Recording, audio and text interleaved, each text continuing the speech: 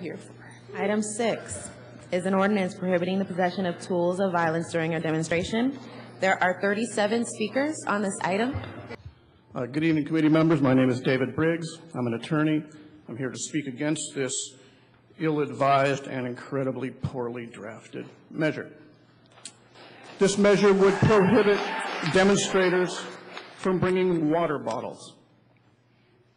It would prohibit them from bringing a plethora of innocuous items, many of which, if you scan this room, you will see. This is not the same ordinance that Los Angeles passed. Los Angeles barred wood items of greater than a quarter inch in depth or in thickness and two inches in width. This ordinance goes far beyond that, bans plastic items, bans metal items. It doesn't?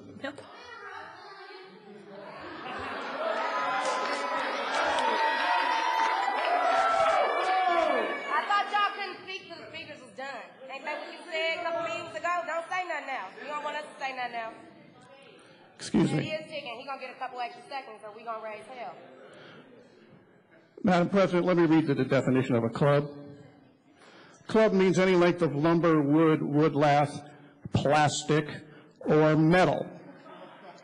Unless that object is one-fourth inch or less in thickness and two inches or less in width. So I believe you have been misinformed by the city attorney. I stand firmly against this proposed ordinance.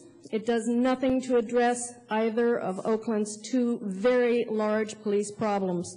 Number one being the continued violence committed with impunity by OPD against our neighbors, in particular young black men.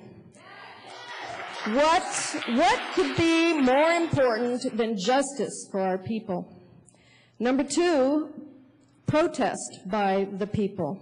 And I I actually do want to address the council, and, you know, the objective of this ordinance, as it's written, is to make it safe for Oakland citizens to protest. In this city where everyone is repeating, we're so proud of our history of protest. And that objective, I think, I, that's an important one, right? But it's important because it is not safe to protest in Oakland because over the past seven months, protesters, including peaceful protesters, have been, as people are saying, tear gassed and shot at with rubber bullets and police projectiles and batoned and beaten and seriously injured. And OPD has arrested almost 800 protesters in this city in the past six months.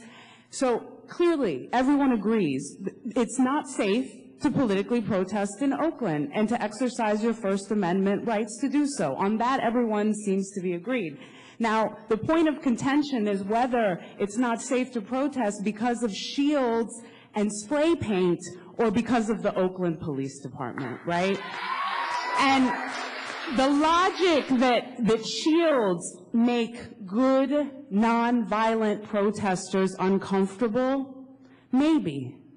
But don't you think that hundreds of police officers brought in through mutual aid in full riot gear from 8 in the morning makes peaceful protesters uncomfortable?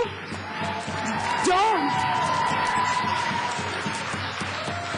don't tanks driving through the streets of downtown Oakland make people uncomfortable? Doesn't the smell of tear gas at 6 in the morning make commuters uncomfortable?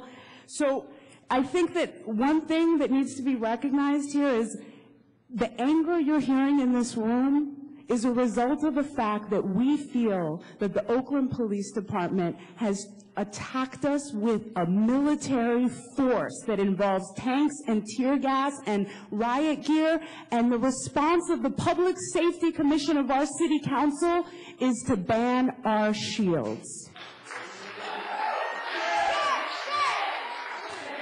Now, whatever we think about the argument, that's the emotion that's sitting here. That's the reality. That's our history of the past six, seven months, right? Now, many people are asking, what's the problem? What's the problem with who needs a shield? Who needs, you know, spray paint at a peaceful protest?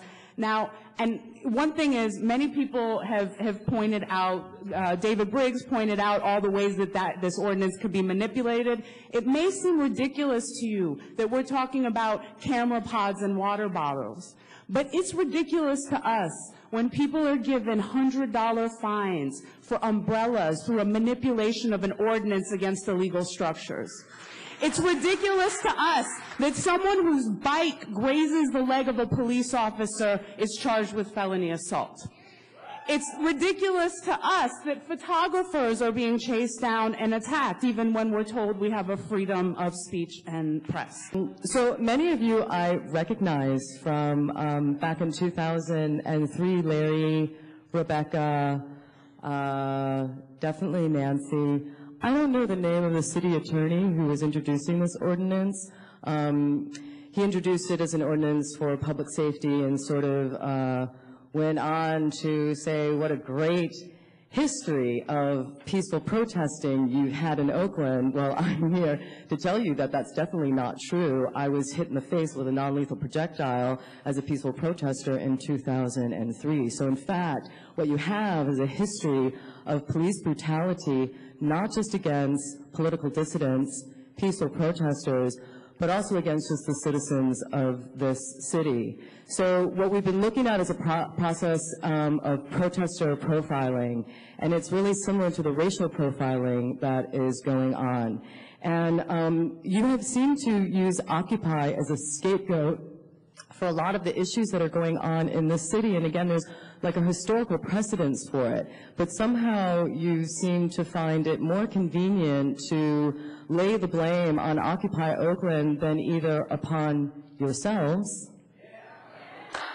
or the OPD. And so I guess when I, you know, as, as we're here sort of looking at public safety, I'm really curious, especially after last Tuesday's city council meeting that I was here and we heard the um, just kind of uh, heartbreaking um, sentiments of the Blueford family. I'm curious what the city council has done since then because it seems that you used a lot of energy to create this ordinance and some other ordinances and I'm not really sure what the city council is actually doing about the police violence in the city. And so Arturo, I see you sitting in the city administrator's um, seat tonight, and I know that you represent the city administrator. And so again, I'm curious about whose role it is to deal with the OPD and to have some sort of oversight on the OPD. And again, I'm going to ask you, as I did in your office last week, is it your job? The ordinance, as it's written, speaks of tens of thousands of dollars in cost to the city. That's a lie.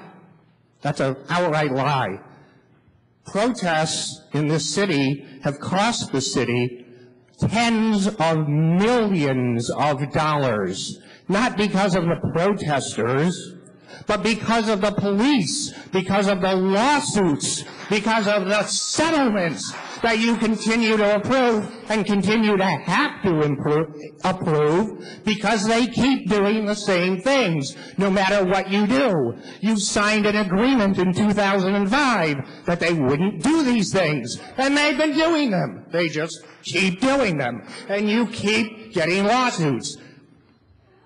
You speak, you'd like to have more money. You could have more money if the 57 or 60 million dollars that you spent you didn't have to spend. If the tens of millions of dollars that you're going to spend to settle with Scott Olsen and Savon Kabegi and, and Alan Blueford and all the rest that I've reviewed in the history, it's ridiculous. While, while we are speaking here, Alan's family is grieving. Tony Jones is paralyzed. Derek Jones is still dead. Scott Olsen's image is now the image of Oakland all around the world. And you do nothing. You bring this silly ordinance to us when it doesn't do anything to address the problem.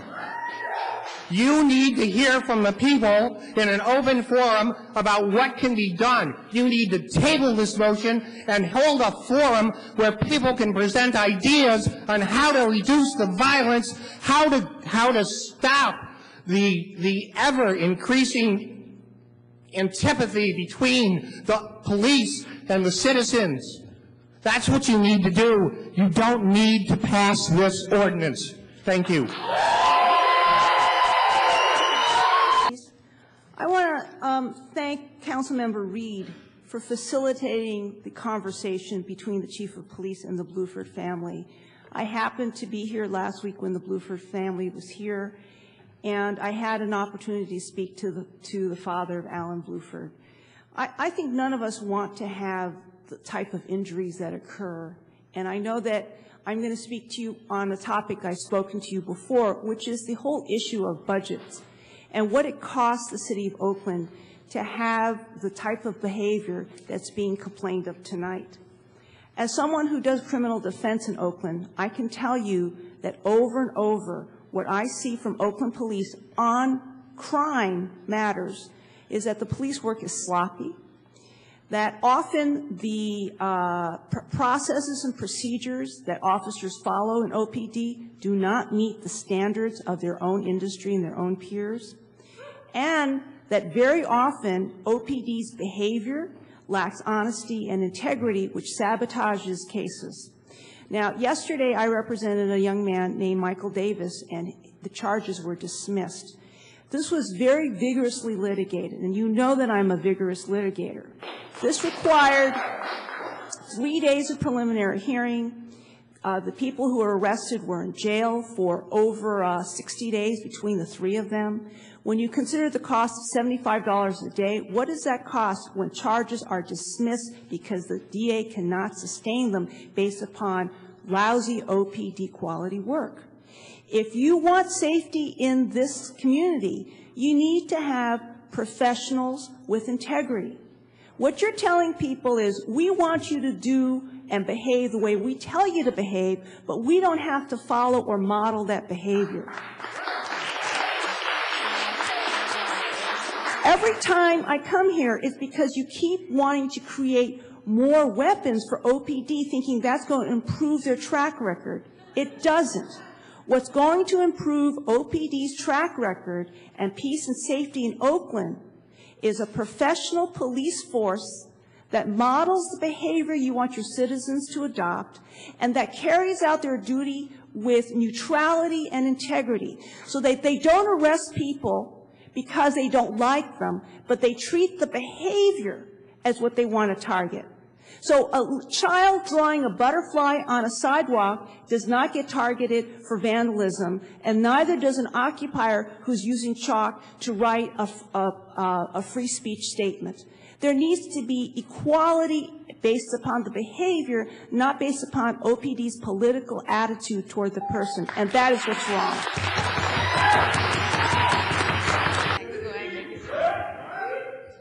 In December last year, I saw this asshole smoking a cigarette outside, and I'm like, what you doing for the community? He told me that he was going to get some black people hired at BART that's going to be young. It hasn't happened in East Oakland. I remember that.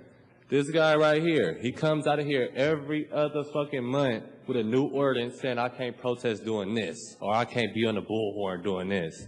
And now I get on Twitter and I hear that y'all trying to say that we can't have shields to protest. And I'm just kind of thinking in my head, I'm like, are we the aggressors or are they the aggressors? You know what I mean? And so it's like, when you take away the shields and you take away our chance to like be on the defensive, all you leave is like for us to attack.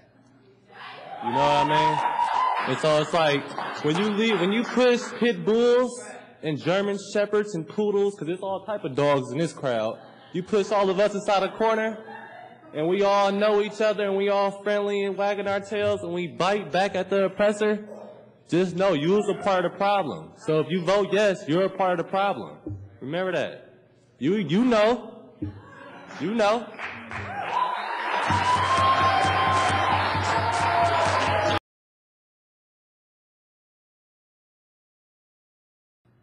At the end of the Boer War, the British executed three soldiers for war crimes in order to keep peace with the Boers. What I am saying metaphorically is that some people have got to get fired or this is going to keep being ugly. Thank you.